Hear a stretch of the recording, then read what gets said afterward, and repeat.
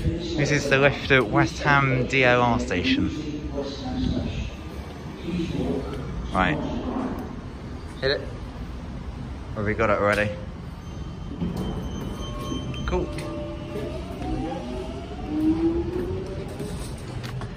You can see it's um right. Hit it.